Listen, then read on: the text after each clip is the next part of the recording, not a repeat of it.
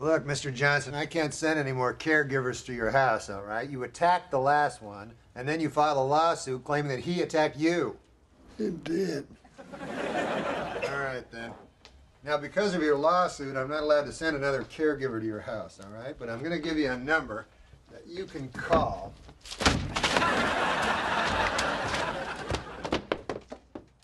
What the hell was that? Win. Wind? Look, you just behave yourself, all right? I'm going to get some witnesses in here.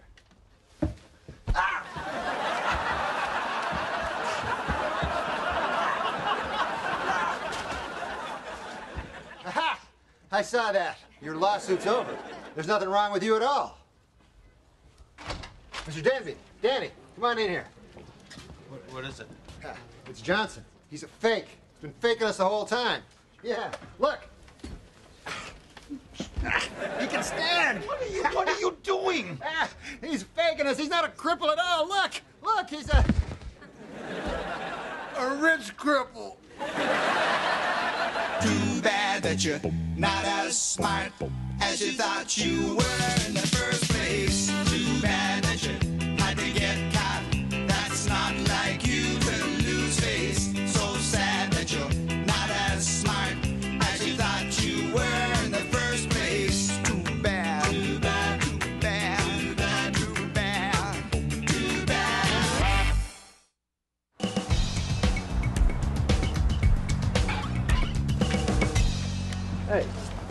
this ain't the library, man. I know that. Your hardcore porno's not in alphabetical order. You want to read it? Buy it.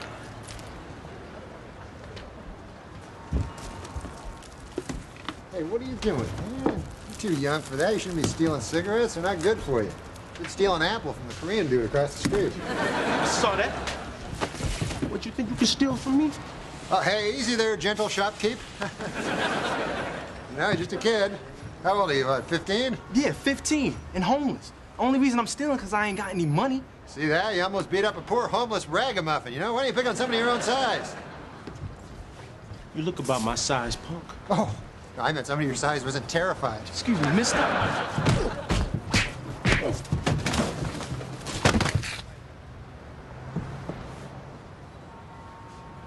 God, it's quite a punch you have there, kid. Uh, you ever boxed before?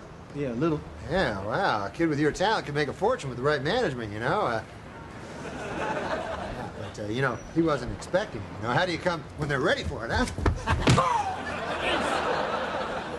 ah, simple yes or no is all that, uh, you know, I needed. You found this kid on the street. He's gonna be a gold mine. Yeah, he's gonna save my life. If I give my bookie a percentage of this kid's career, he'll probably wipe out that debt of $10,000 I owe. That reminds me of me when I was boxing. Yeah, yeah. He's just like you, except he doesn't get winded climbing through the ropes. Listen, man, it's gonna cost money to get the kid started. We gotta buy him his own gloves, shoes, trunks. Yeah, yeah. Remember the old days when all you needed to hit a guy was a roll of quarters? Norm, we're gonna need a sponsor. I say we hit up Cue Ball. No, I don't think that'd be a good idea. What about Danny here? Who's cue ball? He's this guy I like to make fun of behind his back. You don't know him. His name is, uh, Cue Ball, uh, what's your last name? Sanchez. Uh, his last name is Sanchez, too, but, you know, different guy. So you just called me down here to get money for your boxer? Oh, no, the kid needs a sponsor to cover the miscellaneous expenses. You know, entrance fees, equipment. Yeah, yeah. Money for an Indian headdress in case we change his nickname to Chief Punch'em. All right, if I do this, what's in it for me? Well, the broads love a guy associated with the fight game. Yeah. Really? So I could get ad space on his trunks? Oh, like, like a picture of me and my phone number? Or if you really want to get some calls, how about a picture of another dude in your phone number? Hey, Norm, this better be important. I'm a busy man. You got my money? I got some better than money. See, I, I got you the next Mike Tyson. What the hell is this? You owe me money. I want you to bring me some kid off the street. God. That kid has a punch. Yeah, yeah. Wait till you see how he handles the heavy bag. Artie, get in the ring. yeah. We're training him for the Triborough Junior Boxing Championship. Yeah, you want a piece? He's gonna be worth millions when he turns pro. Uh, I don't know. Tell you, I'll keep my eye on him. Uh, let's see how he does in the tournament. Yeah, I figured, you know, the deal would be that, uh, you know, you could forget about my $10,000 debt and, uh, and uh, I can cut you in for 50%. I'd want the whole thing. Right, 50% of 200%. or in less colorful language, the whole thing. All right, Sean. Work your stomach, work your stomach.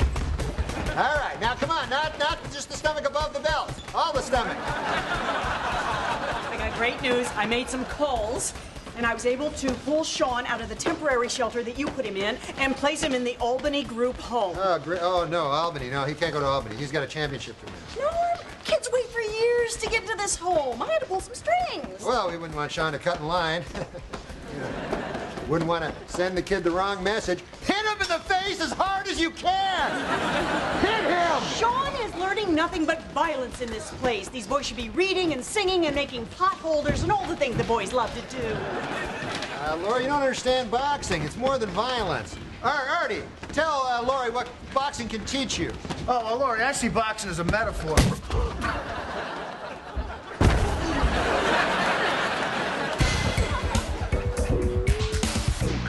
Hi, everyone. Uh, I believe there are some of you who haven't yet met my niece, Nicole. Oh, she's so pretty. Wife's side of the family.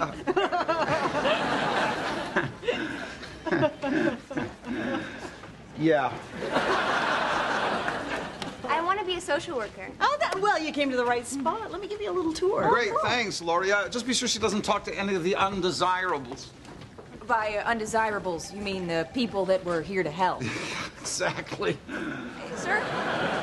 Sir, I used to be one of these people, an, an undesirable. Oh yes, but I mean, no, no, no. You, no, you weren't. You, you weren't undesirable. You, you, you, you were very, very. Oh dear. Uh, uh, uh, I, uh, I, I'm, I'm just going to go. I'm, I'm going to be in my office until until this awkwardness between us has passed.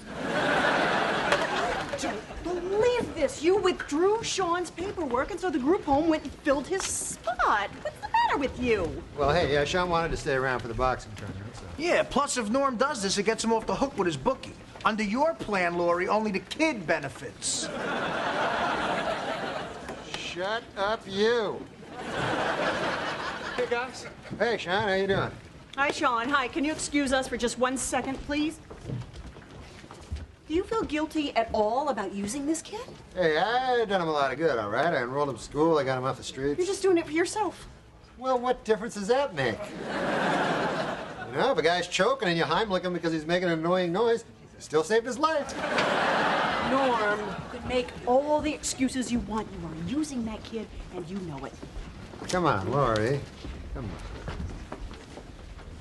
Hey, Sean, let me talk to you for a sec, huh? Uh, you know, I've been kind of pushing this boxing thing on you and everything, and, uh, you know, I just want to know, you you like boxing, don't you? What, are you kidding? I love it. Well, I was just thinking, you know, uh, you know, I want what's best for you. Maybe you should have some outside interests. So, uh, you like uh, you like pot holders, or? Oh yeah, her her name's Nicole. Yeah, she's pretty cute, huh? I guess. Yeah, yeah, that's sweet. That's puppy love. You want to get all over that? Actually, I'm kind of shy with girls. Ah, come on, she won't bite. Come on, let's go talk to her. Nah, I don't think so. L- listen, Sean, uh, let me tell you something about women, all right? They're just as afraid of you as you are of them. No, wait, that's snakes. Uh, oh, no, I, I know what it is. Uh, sometimes they spit poison in your eyes. I'm sorry, that's snakes again. I just saw a cool thing on snakes on the TV there. Uh, no, what I'm trying to say is uh, some of them can unhinge their jaws and swallow you whole. And I ain't talking about snakes. You're scaring me. Now, come on, courage there, pal. Let's go over. Talk to her. Hey, Nicole. Hi, Norm. Hi, I want you to meet uh, my buddy Sean. He's a boxer. Really? I'm on the debate team. Oh, there you go. You're a perfect match. You can persuade people with your points of view, and, and you know, if you can't, then, then Sean can punch him in the throat.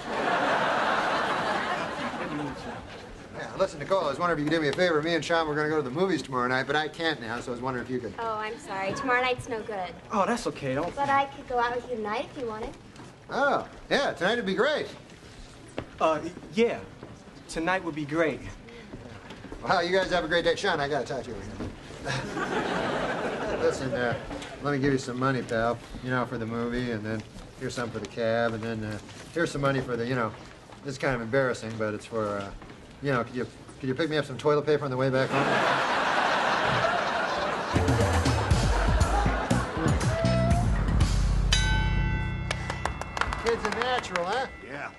I've seen enough. Come here. No, I'm not gonna wait until after the tournament. I'm ripping up your marker right now. Mac, you're a good man. I mean, you're not a good man, but you're a bad man that I don't owe any money to. And in five years, when this kid is old enough to turn pro, I'm gonna finally be able to get out of this dirty business and do what I've always wanted to do. Oh, yeah? What's that? Taxidermy. I'm dying to try it with animals.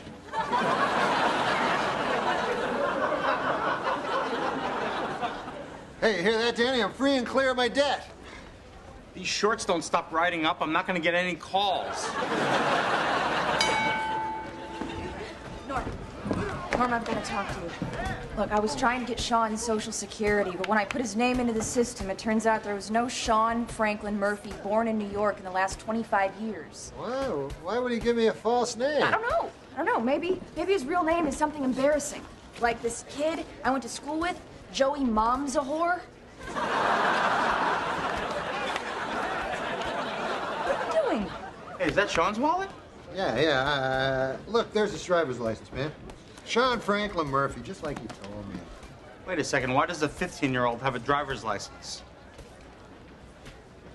Oh my God, he was born June 4th, 1972. 1972, that makes him 27.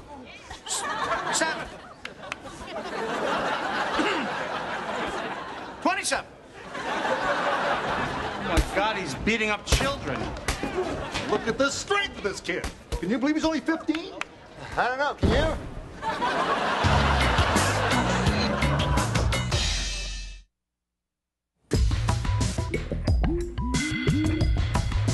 We can't let a grown man beat up little kids. We gotta stop this. Maybe it's a fake ID so we could buy beer. Yeah, hey, look, here's a picture of him and his buddy playing laser tag. It's not his buddy, that's an Iraqi soldier. He's part of Desert Storm. All right, all right. One more for the championship. Yeah, one more for the championship. Man, I know you're 27. Who told you? I saw it in your wallet. How could you do this to me? I'm sorry, Norm. It's just that I always wanted to be a boxer. I entered the Golden Gloves when I was younger, but I got knocked out in the first round. But now that I'm 27, there isn't a kid here who can beat me. Yeah, well, that would be great if there was a, an Olympic event called uh, Adults Hitting Kids. I wasn't looking for any of this. It's just I lost my job and didn't have enough money for cigarettes. Just wanted to step outside, have a quick smoke, get away from my wife. You what? You have a wife? Yeah, my 27-year-old life is a real mess. My 15-year-old life, now that's going great. You can't do this. You're a grown man. That's the great part. No responsibilities. The schoolwork comes easy to me. You know, it's a whole lot easier to do a report on Iraq after you bombed it. John, you don't understand. See, you got me in trouble now with Mac. He, he only let me off the hook because he thought I hooked him up with some 15-year-old boxing prodigy. I'm gonna win that championship. And if you try to stop me, I'm gonna tell Mac you knew all along I was 27. Oh, yeah? Well, I'm not going to let you sit on my lap when we drive anymore. What do you think of that?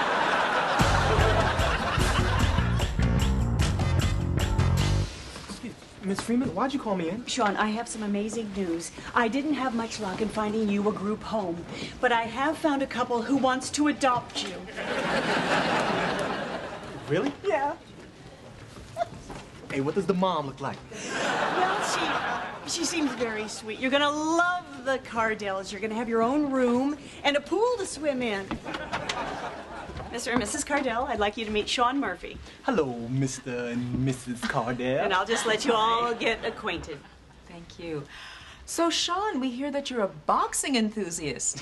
Oh, yes, ma'am. But my main hobbies are politeness and chores. Well, Norm, you're not gonna be able to screw this up. I'm minutes away from finding Sean a home. He's 27. Who cares? I found a couple to adopt him. What do you mean he's 27? Yeah, he pretended he was 15, but I found out he's really 27. oh, All right, well, at least you told me the truth. Now, this is a very tricky moral problem, and at times like these, I I like to turn to the Bible. Mr. and Mrs. Cardell, I want you to meet Norm Henderson. He's the social worker who rescued me from the streets. Hi. Hey, nice to meet you. How are you? If it's all right with you, we'd like to take Sean for some ice cream. Uh, yeah, yeah. Well, make sure you strap into that child's safety seat. what am I gonna Do I don't want to turn the Cardells off to the whole adoption process. I'm just going to have to kill the whole thing in paperwork. Hey, hey, why don't we let Sean stay adopted, you know? Maybe he could help them have a baby of their own, you know what I'm saying? You know, I shouldn't have hit you with that Bible before, the phone book is so much bigger. Ow! I expect you to fix this. You've got to get him out of that home. You've got to get him out of junior high and keep him from pummeling children. I'm telling you, I tried to get him out of the tournament, but he won't. You know, and I can't bust him on being 27 or Mac will kill me. Hi, guys. Is Sean around? Sean, no, Sean's not here right now, no. Did you hear he's taking me to the prom? Well, that's nice. Uh, maybe you can teach everybody to hustle. Fix this! Yeah, listen, Nicole, here, uh, I, I gotta tell you something, you know, and uh, please don't tell your Uncle Max this, but uh, uh, Sean, Sean isn't really 15. He seemed a little immature. No, no, no, no, he's 27. 27. That's awesome. What? Tara Finch's prom date's only 19. Tara? Hey, it's Nicole. Guess what, bitch? What are you going to do about Sean? I don't worry, I got a plan. Artie's driving Mac around, he's gonna get lost for about an hour. That gives me enough time to get Sean out of here, and then I'll tell Mac that he ran away. Where are you going to tell Mac the kid went? Peru. Peru? Why? Yeah, that's for you to figure out while I talk to Sean. Hey, Sean, listen. The fight starts in one minute, all right? This is your last chance to walk out of here with honor. I'm not quitting now. I know I can take this guy. I just hope he doesn't hit me in my face. I got a prom picture I gotta take tonight. Well, uh, here she is. Where is he? Hey, pleasure to meet you, Mrs. Murphy. Uh, I'm Norm Henderson, and uh, your husband just stepped into the boxing ring, so. Sean! Where the hell have you been, Sean? Oh, crap. You got a lot of explaining to do, Sean. Why is there a picture of Dom DeLuise on your ass? Look, don't you start with me. I'm gonna fulfill my dream. Look, Mrs. Murphy, just uh, give me a moment, would you? You've got one moment. One. Look, why don't you go home with your wife? Huh? She loves you in her own shrill, hateful way. Yeah, I love her too. But if I quit now, I'll never forgive myself. This way, I win the tournament, and she'll be mad at me for a couple of months. So what? Well, how about this for an idea, huh? I tell her that you're going to go to a prom with a 15 year old girl, and then she'd twist your private parts into balloon animals. Not cool balloon animals either, but probably like a poodle or something like that. And time's up. I'm not playing. Don't make me climb in that ring, Sean. Yeah, I'm coming. That's what I'm talking about. Norm. Oh, Mac. Hey, uh, hey, Mac. Uh, what are you doing here? I'd have been here sooner, but your stupid brother drove me all over town. I had to put a gun to his head. What the hell's going on here? Where do they think he's going? Who's the woman? Oh, yeah, that's what I want to explain. See, the thing with Sean's a lot more complicated than, uh, than you originally thought. Uh, it turns out that his, uh, his old lady won't let him fight. Oh, man. Yeah, so it's technically not my fault. I do not get between a boy and his mother. His mother? Oh, yeah, his mother. That's it. There she is, his dear beloved mother. Sean, if you roll your eyes at me one more time, I'ma pop them out and juggle with them. Why don't you stop treating me like a child? That's it. You're not sleeping in the bed with me tonight. Let's go. You wonder why some kids end up in the street. I don't wonder about that. I wonder about when I'm gonna get my $10,000. I'll tell you what, Mac. Uh, what do you say we flip for it, huh? Double or nothing? Okay. Heads. Heads. Okay, oh, you're $20,000. Uh, uh, how about we flip for it again, huh? Double or nothing? Heads. Heads, all right. $40,000. Okay. Uh, what do you say we flip for it, huh? Double or nothing? Heads. Heads. $80,000? What the hell happened to the law of averages?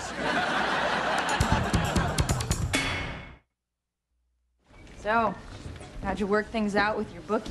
Uh, well, he knew he'd never get the money out of me, so uh, he gave me a break. I, I gave him my car and, uh, and and uh, an organ to be named later. I'm trying to sell him on my appendix. Hey, you have some visitors. Oh, Sean. hey, how you doing, buddy? Hey, who's the little guy? Uh, this is my son, Brian.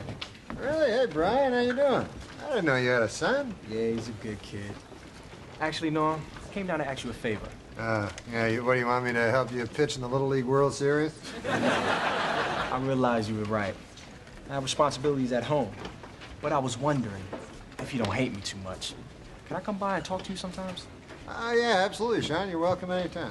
Hey, you too there, Brian. You're a cute kid. How old are you, like five, six? Oh, no, he's 13.